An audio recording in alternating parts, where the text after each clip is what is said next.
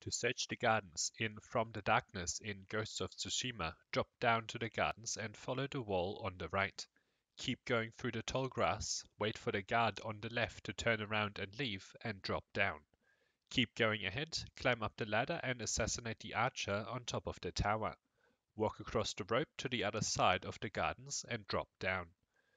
Go up to and squeeze through the crack in the wall.